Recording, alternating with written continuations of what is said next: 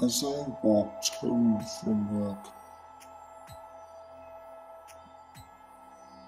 Just outside Tesco Metro,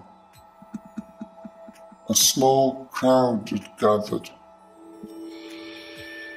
I couldn't quite see what they were looking at, but they seemed to be crowded around a figure huddled on the floor.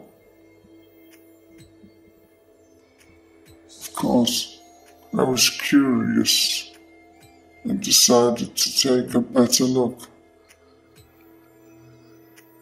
As I fought my way into the centre of the circle of shouting and jeering people, I noticed on the floor, bleeding quite profusely, was Boris Johnson, the Foreign Secretary weeping and sobbing and flailing his arms and shouting, Forgive me, forgive me.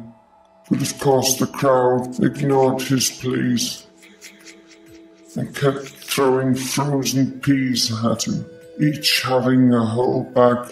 Take that, Boris, they shouted. Eat your peas, Boris. See who's laughing now, Boris.